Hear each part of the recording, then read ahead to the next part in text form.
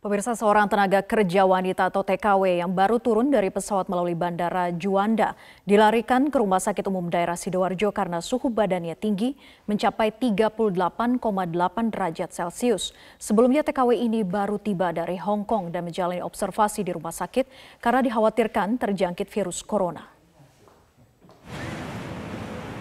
TKW berinisial M berusia 21 tahun kini dirawat di ruang isolasi instalasi gawat darurat RSUD Sidoarjo.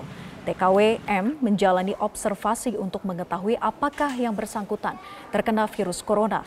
Informasi awal, M sempat lolos dari pemeriksaan body thermal scanner yang dipasang pihak kantor kesehatan pelabuhan kelas 1 Surabaya di pintu kedatangan penerbangan internasional Bandara Juanda.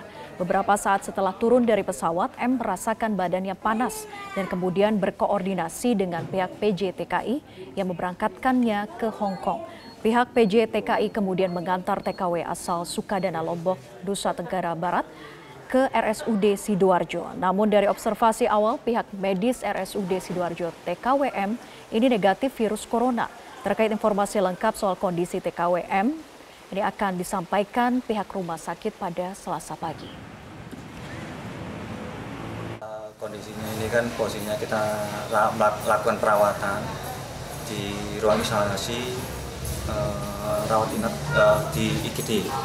Posisinya ini masih kita diagnosa, kita observasi apakah memang positif terkena virus yang selama ini disampaikan oleh eh, berita-berita selama ini ataukah masih negatif.